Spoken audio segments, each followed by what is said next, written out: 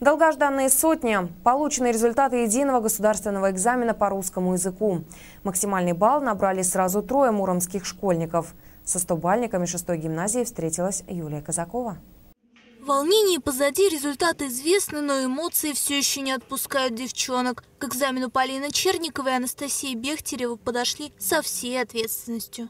В течение двух лет я буквально каждый день прорешивала задания по русскому языку. Я думаю, это мне в итоге помогло. Перед самим экзаменом я волновалась, наверное, как и остальные ученики, но мне помогло успокоиться осознавание того, что я долго и упорно к этому шла.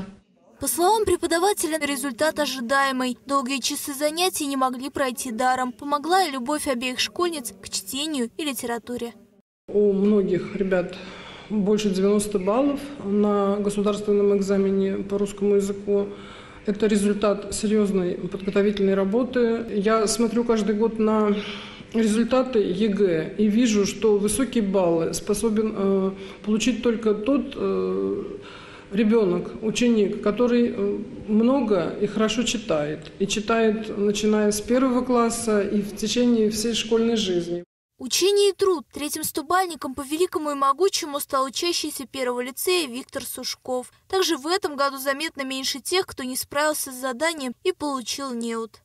Основной период уже позади, все экзамены сданы, ждем результаты по некоторым еще предметам. 28 и 29 выпускники 11 класса имеют право пересдачи те выпускники, которые получили неудовлетворительный результат по одному из обязательных предметов, по русскому языку или математике.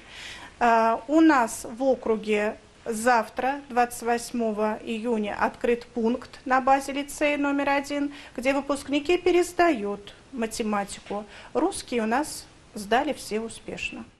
Двоек по русскому языку нет совсем. В 2016-м их было 11. В этом году с базовым уровнем по математике не справились 8 человек. В прошлом 21. Профильный уровень по математике не смогли осилить 63 выпускника. В прошлом 91. Юлия Казакова, Александр Симонов. Новости Муром.